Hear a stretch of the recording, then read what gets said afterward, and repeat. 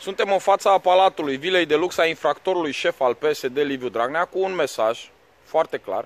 Și o să vă spună și cei care au adus aici uh, mesajul ce îi spunem noi lui Liviu Dragnea și de ce îi spunem acest lucru de aici, din fața uh, palatului lui opulent, din fața proprietății lui uh, opulente în această zi.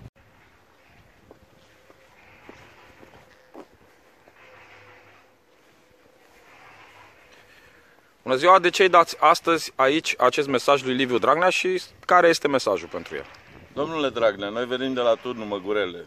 Venim de la mormântul unui om care pe data de 10, decembrie, 10 eh, august 2018, la mitingul diasporei, a protestat pașnic și a fost gazat.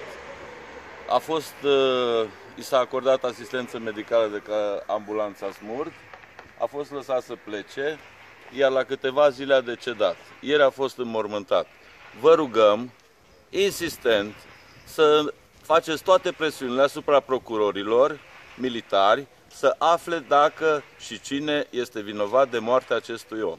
Noi suntem solidari cu familia lui și vrem să se afle adevărul, doar adevărul.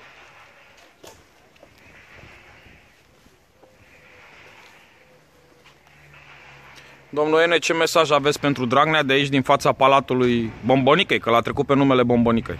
Dragnea, ești un hoț care a furat alegerile, a mințit poporul cu un program electoral mincinos, ai ucis oameni în vârstă care au venit să-și exprime dreptul la liberă exprimare și pentru asta nu te vom ierta.